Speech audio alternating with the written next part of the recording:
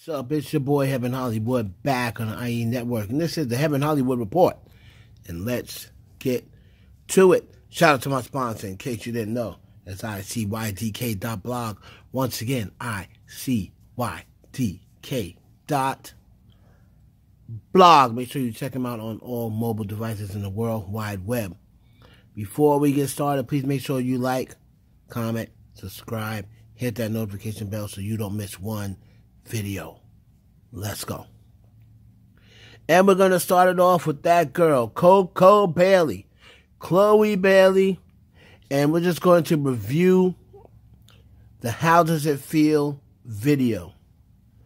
Now, well, number one, the, the video is about 2 minutes and 56 seconds long. So that's the new thing now with songs. They're like, mostly all the songs are under 3 minutes to me, the song should be, you know, no less than three minutes and 30 seconds. We want to, you know, I would say, I'd say maybe around there, three and a half minutes. You know, all songs back in the day were over four minutes, you know, some five minutes. But that's a new thing now. They're making videos so short. People got ADD these days. Plus, when the, the shorter the song, the it's uh, better for TikTok and stuff like that. But the visuals with this with this video was A1. You know, when it comes out, you know, she she lights the candle, uh, and then it's kind of like the um, the sand, a certain amount of time, you know, uh, before the sand goes out of the hourglass. You know, Chris Brown appears, and it's kind of like they're back to back talking to each other, but just not face to face and then that barrier kind of breaks and then she like they're in the same room. The uh i love the visuals. I love the, the, the chemistry they have together. The intensity of the scenes.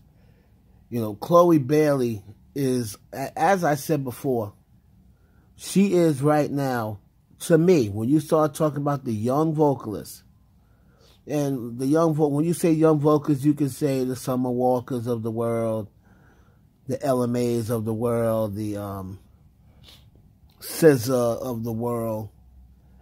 You know, those girls. To me,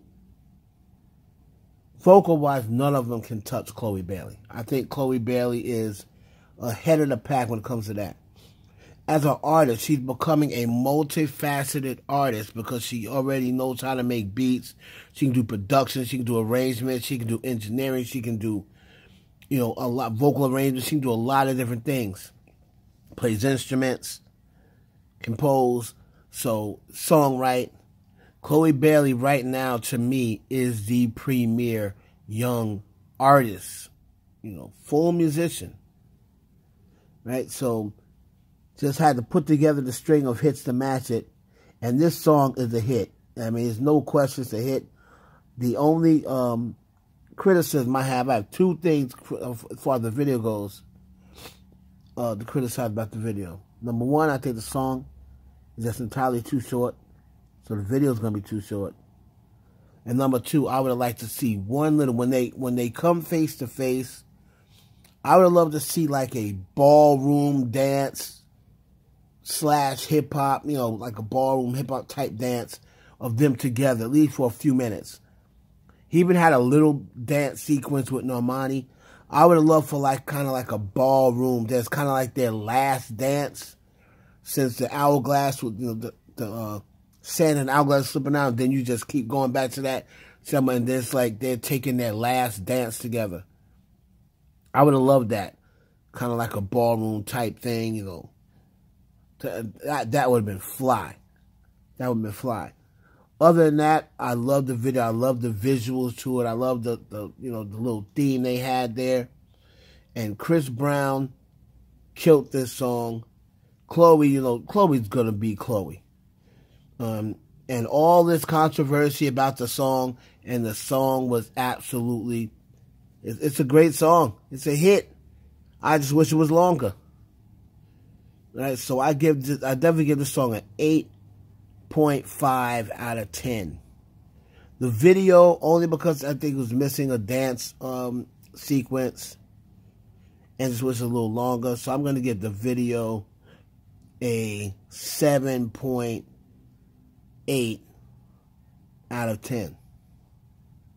All right, so congratulations to that girl, Coco Bailey, aka Chloe Bailey. Moving on to your girl, Doja Cat. And Doja Cat had the internet going crazy with these pictures. She had, you know, very Masonic type, occult type, demonic type pictures, you know, all in the red. I've been seeing a lot of that lately from a lot of different artists. Sam Smith performed in red. Rihanna performed in red. Now you got Doja Cat taking pictures in red, and then she adds on the devil horns, and then these things that she's taking the pictures with. They look very, you know, Baphomet-like, you know, very symbolic, Masonic type, type figures she's taking pictures with. And, you know, a lot of people was in her comments saying, what are you doing? You know, Doja Cat definitely sold her soul and another. She just keeps saying, yes, I'm just going to keep trolling you people and this, that, and the other.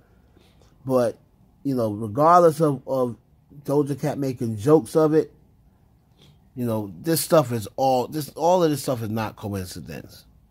Let's put it that way. So and like I said, live your life to make your own decisions, but you know, that these outfits and stuff the Doja Cat's wearing, you know, little it's a little much. And again, it's, it's to the point now where it's in plain sight. Nobody cares about nothing no more. Nobody cares who sees it.